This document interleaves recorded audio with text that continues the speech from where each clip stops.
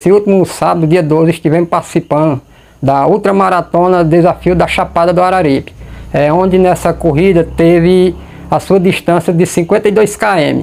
É, foi realizado na cidade da Barbalha, de Barbalha, né, é, com a largada em cima da Chapada do Araripe. É, a gente percorremos várias trilhas né, da Chapada e passando também pelo centro da cidade, e nessa competição o nível estava muito bom, porque tivemos atletas de vários estados daqui do Brasil, né? E graças a Deus eu tive o prazer e a oportunidade né, de ficar na segunda colocação geral da prova e ser o melhor cearense, né?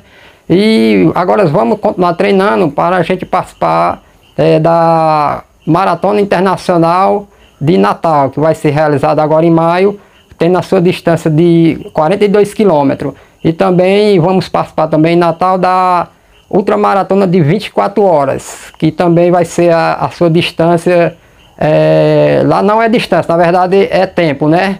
É, você tem 24 horas para percorrer a maior distância possível. Né? E se Deus quiser, a gente vai lá participar e representar bem a nossa cidade, o nosso bairro, né? E o nosso projeto, a nossa escolinha de atleta em Força Flex. Sobre os apoios, Claudiano.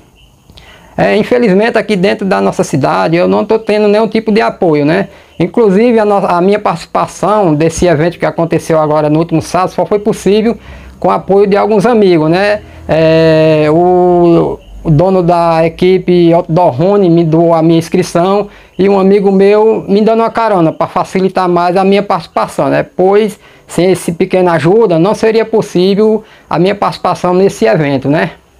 Qual o seu sonho, Claudiano? Rapaz, o sonho de muitos atletas é ganhar dinheiro e ter fama, né?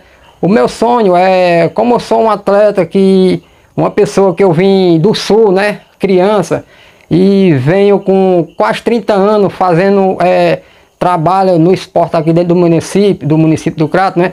É ter simplesmente o reconhecimento pelo poder público, né? E pela população cratense.